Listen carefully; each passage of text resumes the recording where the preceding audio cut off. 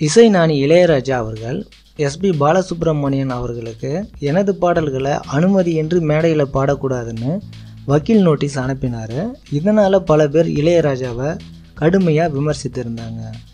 குறிப்பாக இளையராஜாவோட தம்பியான கங்கை அமரன் கடுமையான வார்த்தைகளில் இளையராஜாவை விமர்சித்திருந்தார். தற்பொழுது ஆர்கே நகர் இடைத்தேர்தலில் பாரதிய ஜனதா கட்சியின் வேட்பாளராக கங்கை அமரன் வந்து போட்டியிடுறாரு. இதற்கான வேட்புமனுவையும் தாக்கல் செஞ்சு அந்த வேட்புமனு கூட ஏற்றுக்கொள்ளப்பட்டது. இந்த நிலையில் இளையராஜாவின் சகோதரர் மகளான வாசிகி பாஸ்கர் கங்கை அமரனுடன் ஆர்கே நகர் தொகுதியில் எடுக்கப்பட்ட புகைப்படத்தை அவரோட ட்விட்டர் பேஜில் பதிவிட்டு யுவன் சங்கர் ராஜா பெயரையும் போட்டிருந்தாங்க. இதுக்கு யுவன் சங்கர் ராஜா ஆர்கே நகர் தொகுதியில் போட்டி போடுற கங்கை அமரனுக்கு என்னோட ஆதரவு கிடையாதுன்னு ட்வீட் பண்ணியிருக்காரு.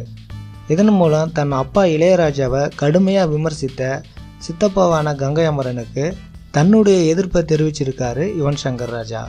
இந்த வீடியோ உங்களுக்கு பிடிச்சிருந்தா இந்த சேனலை சப்ஸ்கிரைப் பண்ணுங்கள் நன்றி.